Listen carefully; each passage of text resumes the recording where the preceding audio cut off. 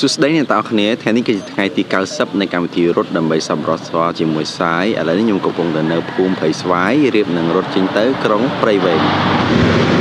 ម្ដងបងថ្ងៃនេះថ្ងៃទី90សំ9ថ្ងៃទៀតវាអារម្មណ៍ថាមិនគួរឲ្យជឿថាវានឹងចប់សល់តែមួយខែទៀតហើយនឹងចូលក្រុងតាខ្មៅហើយចប់ពេលចប់ធ្វើអីមុនគេបងយេយេចាណានៃម្ដងមើល ហើយនឹងស៊ីស៊ីស៊ីស៊ីស៊ីស៊ីស៊ីស៊ីស៊ីណានេះប្រហែលជាធ្វើពីនឹងមុនគេមួយថ្ងៃពីរថ្ងៃសិនសម្រាប់ទៅអីហើយចាំកាត់ទៀតថ្ងៃនេះណាងគីឡូផ្ដាច់អឺប្រហែល28 28បាទ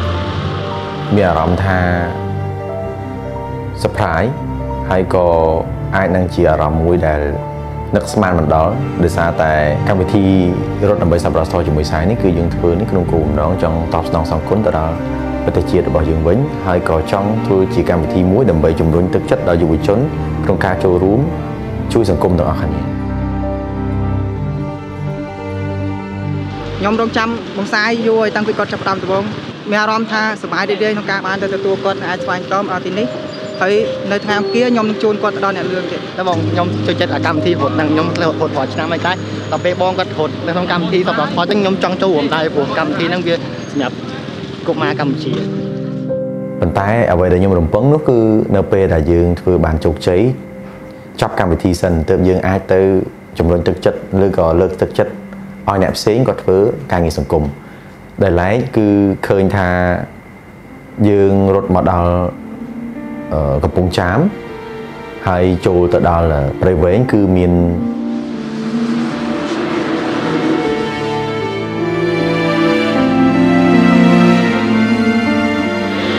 សួស្តីអ្នកនរគ្នាខ្ញុំឈ្មោះនីកូខ្ញុំ15ឆ្នាំហើយខ្ញុំថ្ងៃនេះបានចូលរួមជាមួយនឹងបងសាយសម្រាប់រត់សម្រាប់ក្មេងអបញ្ញាកុមារបញ្ញានៅសាលារៀនទន្សាយកុមារី ឈ្មោះនីកូដែលគាត់បង្កើតនៅកម្មវិធីរត់ដើម្បីសារាទន្សាយដែលជួយទៅដល់ក្មេងអូទីសឹមហើយគាត់បានមករត់ជាមួយនឹងខ្ញុំបាទរហូតទៅដល់100គីឡូជាងបាទរហូតទៅដល់ក្រុងតាខ្មៅខេត្តកដាលមានអារម្មណ៍ថាអត់សូវហត់ទេប៉ុន្តែឈឺឈឺដំបូងខ្ញុំពាក់ស្បែកជើងរៀងតឹងពេកអញ្ចឹងទៅ វាឈឺកន្លែងកញ្ចក់ជើងប៉ុន្តែលោកបញ្ជាក់ថាលេងអីអឺខ្ញុំពិចារណាហត់ប្រហែល10គីឡូប៉ុន្តែមួយថ្ងៃហត់2ដង so total 20គីឡូខ្ញុំភាគច្រើនហត់ម្នាក់ឯងដូចអត់សូវមាន motivation សម្រាប់ទៅមុខទៀតប៉ុន្តែខ្ញុំឃើញដូចអ្នកជំនាញខ្ញុំគាត់ខំប្រឹងហត់ចឹងខ្ញុំខំប្រឹងអឺ yeah complete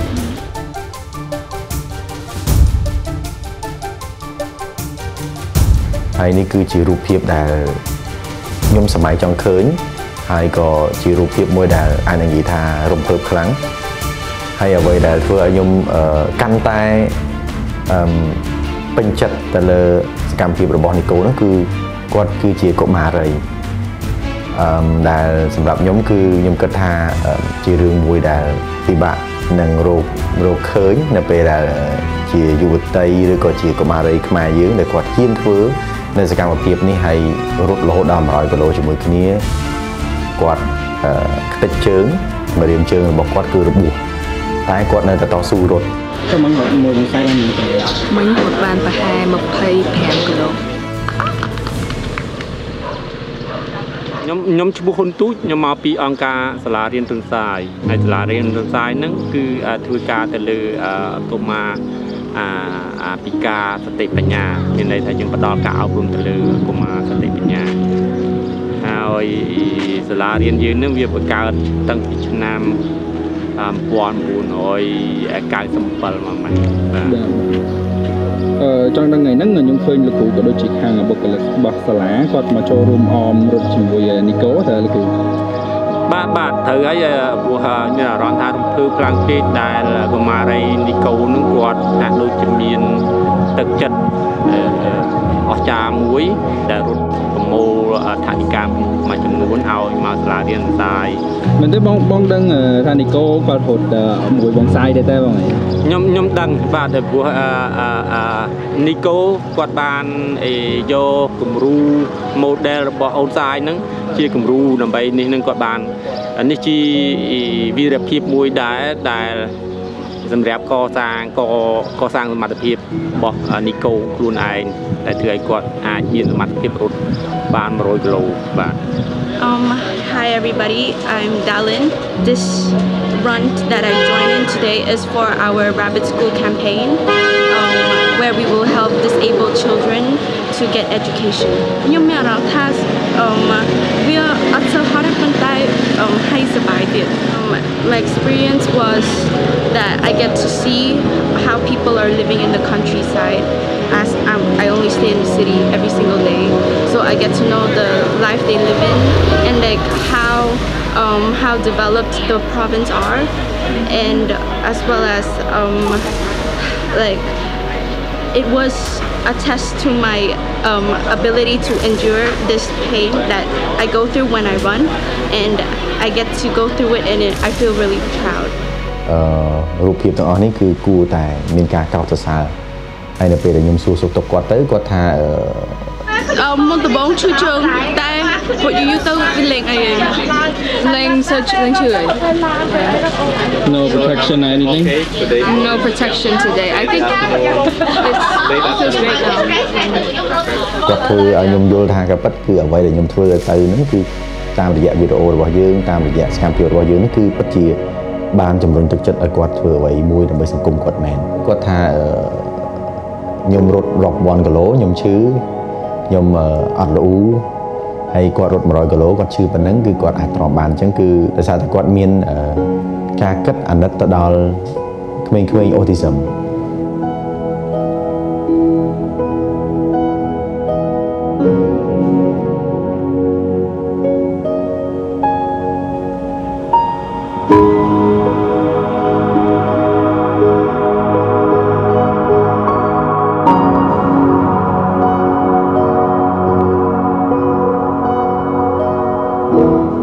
ង់ដឹងពីអារម្មណ៍បងដំបងមែនតើហ្មងនៅពេលដែលបងឮថា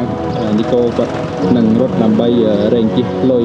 ជូនដល់សាលាបងតើបងមានអារម្មណ៍យ៉ាងណាវាខ្ញុំមានអារម្មណ៍រំភើបខ្លាំងណាព្រោះអីសម្រាប់នីកូសម្រាប់ខ្ញុំក្មេងខ្ញុំមានកូនដែរមានអាយុ20ឆ្នាំដែរប៉ុន្តែវាមិនមានសមត្ថភាពអីដល់ដូចនីកូណាក្នុងការរត់ដើម្បីប្រមូលមូលនិធិហើយអាអាការរត់នោះគឺជាសមត្ថភាពមួយឯងប៉ុន្តែអាទឹក ចិត្តមួយទៀតដែលអានីកូបានអាផ្ដល់បង្កើតឡើងនោះគឺជាទឹកចិត្តមួយធំណាដែលកម្រមាននៅក្នុងសង្គមខ្មែរយើងណាឃើញថា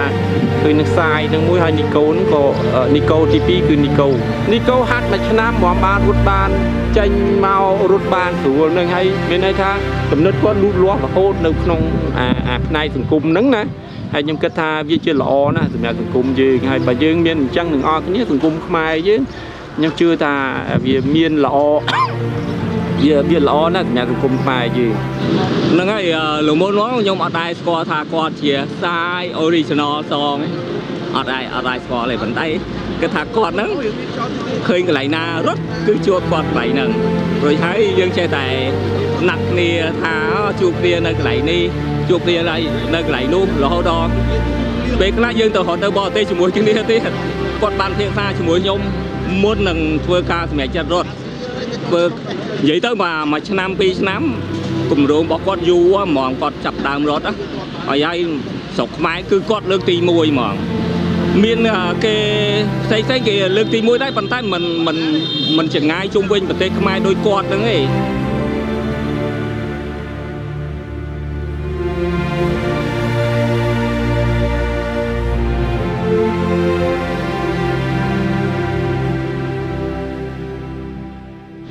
សម្រាប់អឺការងារមនុស្សធម៌នេះអឺរយៈពេលឆ្ងាយនេះគឺមិននិយាយទេតើតាអ្នកដែលមានការតាំងចិត្តខ្ពស់ហើយអឺអ្វីដែលយើងកោតសរសើរគឺការលះបង់អឺពីអឺចេញពីបេះដូងរបស់គាត់ដើម្បីយើងទាំងអស់គ្នាដើម្បីសង្គមយើងទាំងអស់គ្នា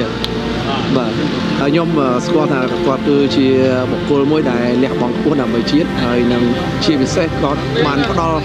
នៅសេចក្តីស្រឡាញ់ពិតពិតៗដល់កុមារកម្ពុជាក៏ដូចប្រជាជនកម្ពុជាបាទ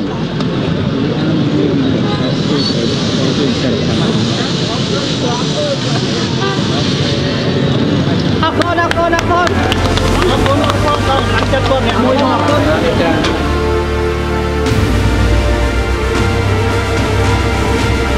អ៊ំមានអារម្មណ៍មិនពេលដែលគាត់ប្រាប់អ៊ំដំបូងថាគាត់ចង់រត់ជុំវិញចុកខ្មែរអ៊ំក៏សប្បាយចិត្តដូចគ្នាឲ្យកូនធ្វើបានល្អទៅជួយសង្គមជួយកុមារតែពីដំបូងចង់ឲ្យគាត់រត់អត់ចង់ដែរបើម្ចាស់វាចង់រត់ទៅយើងវាចង់ឲ្យគេរត់ដែរហ្នឹងហើយឲ្យតែកូនធ្វើបានម៉ែសប្បាយចិត្តហ្នឹងហើយបងសាយខ្ញុំបានបាត់ពិសោធន៍ជាមួយគាត់ថ្ងៃនេះខ្ញុំ respect គាត់កាន់តែខ្លាំង ហើយខ្ញុំសង្ឃឹមថាអឺអ្នកទាំងអស់គ្នានឹង support ដោយសារ we're working really really hard and uh, yeah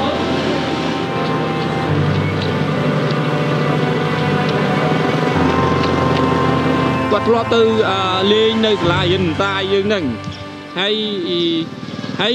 ទើបតែគាត់សម្ភាសហ្នឹងទេខ្ញុំបានខ្ញុំដឹងថាតែគាត់មានទឹកចិត្តហ្នឹងចងចាំតាំងពីតូចមកម៉េះ គាត់ថាគាត់ទៅអីលេងសាលារៀនសាយហ្នឹងហើយគាត់មានអារម្មណ៍អាក្តុកក្តួលអាណិតកូនក្មេងនៅទីហ្នឹងហើយគាត់ថាគាត់នឹងធំឡើងគាត់នឹងអេ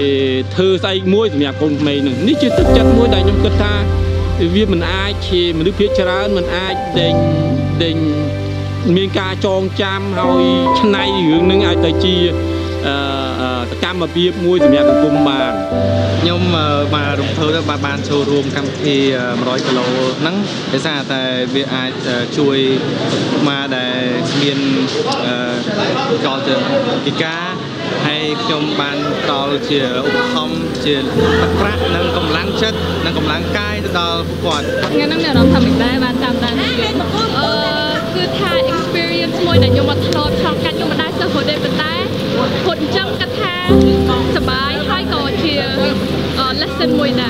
Tell, tell me exactly how you feel like what's the motivation behind coming and you know running with Nico I think it's both a personal. I have both a personal motivation, but also obviously to help charity. Um, but yeah, so I, I want to be able to donate money to the charity and run as much as I can. But also, I want to be able to take on the challenge myself because this is a challenge I haven't done before. So yeah, two reasons behind it. And thank you to Nico for allowing me to have this experience I don't think without without my friends, without these people, I wouldn't be able to like complete my 100k. So now we have five kilometers left, and I really hope that we'd be able to have a positive outcome. អ្វីដែលយើងចង់អរគុណទៅដល់អ្នកដែលគាត់បានចូលរួមទាំងអស់គ្នានោះគឺ